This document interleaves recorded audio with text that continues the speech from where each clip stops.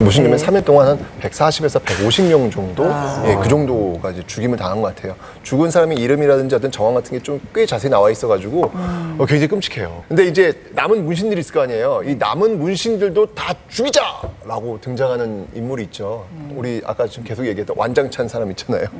이고 이고 다 죽이자. 예, 아주 다 죽이자라고 했는데 정중부가 이걸 말려요.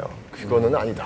라고 해가지고 이제 남아있는 어떤 그 문신들은 그냥 낙향을 합니다. 정말 개성에는 문신들의 씨를 말릴 정도로 네. 문신들을 다 지금 존재하지 않는 어떤 그런 상태가 돼버린 거죠. 아, 지금. 다 사라졌군요. 그러니까요. 개경에는 이제 칼든 자들만 그렇죠. 살아남는 그런 그렇죠, 그렇죠. 분위기였어요. 그런 거죠. 아. 네. 이때 무신 정변에 참여하지 않는 무신들도 상당수가 희생되기도 했어요. 왜 그러냐면 네.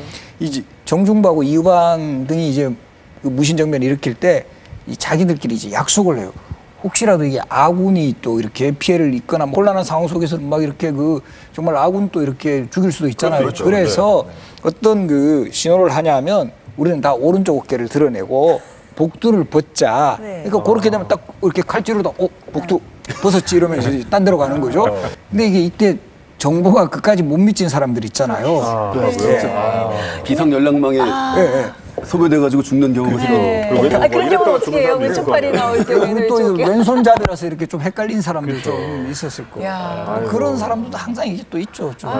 그냥 좀 사- 억울한. 희생자들. 그야말로 뭐 고려판 킬링필드 같은 느낌 있잖아요. 반대로 이제 또 뭐 문신 중에도 그날 뭐 이렇게 땀이 많이 나고 복두 벗은 사람은 이렇게 또 살아남은 연했겠죠. 운 좋게 살아남은 경우가 그럴 때는 또. 오른쪽 겨드랑이에서 땀이 나가지고 여기다가 벗고 있었는데.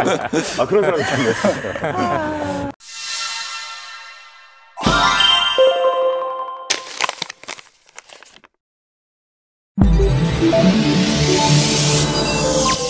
KBS